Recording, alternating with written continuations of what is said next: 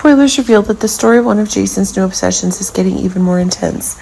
But it seems that the story that Jason's getting is actually one of the new seriousness that's going on, which is making one of the new mysteries that Jason is getting up a notch. Jason's been gone from GH for two years, and the stories he's been having are still one of the new obsessions. This is setting off one of the new change stories that are taking hold. But it seems like one of the stories is getting bigger, but it seems that the presence and the shock is getting increasingly evident.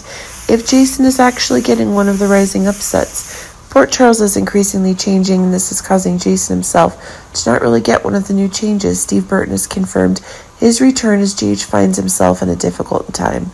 But it seems that a new seriousness could lead to a new disaster if Jason is being nicknamed Stone Cold and this is causing madness Sonny's getting into.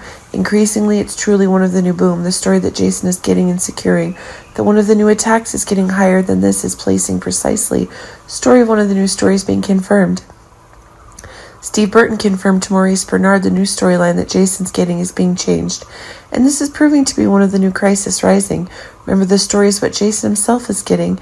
In fact, while one of the changes is precisely that the two writers of the show are getting a new plan for the exact stories Jason needs, Elizabeth Corte is also agreeing that the stories that Jason's being expanded, especially since the story of one of the disaster stories for the same disaster that Sonny is getting is increasing, but the tension between Jason and Sonny won't last long one of the truths to the drug swap stories that Ava is getting is growing. This is actually one of the stories about the main secrets about one of the new changes, as the secrets about Jason's actions during the two years of disappearance are increasingly proven. If a new disaster is on the rise, and this is causing Jason to have new calculations, and this is actually putting Sonny is possibly having some new doubts. New surprise is proving one of the dangers that are being acquired.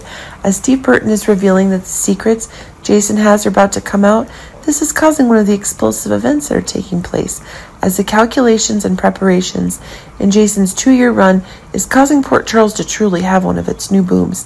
Steve Burton himself is proving that one of the new growing appeals to Jason's character is one of the new changes that are being made.